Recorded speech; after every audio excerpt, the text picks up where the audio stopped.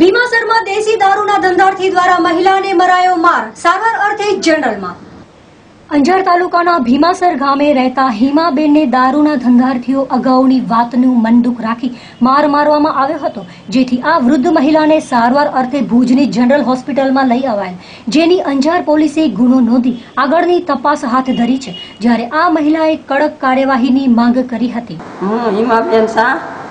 અને ભીમાસરથી આવા શાહ ભીમાસર ચકાસર અંજાર તાલુકો.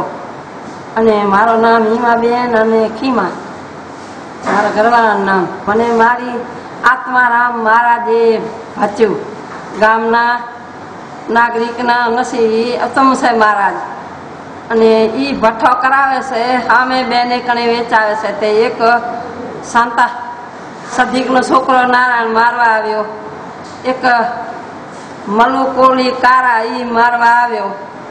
અને શાંતાબેન સદીક, ઈ ભેરી એને મારી મને અને લખીબેન શામજી એને મને મારી બધા દવા દુઃખ કીધો અને મને નડિયે લત દઈને આત્મારામ બેહી રહ્યો. પછી કે, મારો મારો, હું એકલી જ હતી. પછી મારા દીકરાની બહુ પાછળ હતી તે ધોળિયા વિચારો લેવા ગઈ તે એને વળી મુકાવી નકા મને મારી ના કર.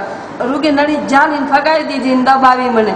ધોકા લઈ આવ્યા પણ ધોકા દારૂ ધંધો કરે છે અને હું એને આડી આવવા છું. મને વારંવાર ધમકી દે છે. અમારી માંગણી છે કે એને દારૂનો ભઠ્ઠા ઈટકાણથી બંધ થવા ખપે અને એને અત્યારે અત્યારે એને જેલમાં પૂરો.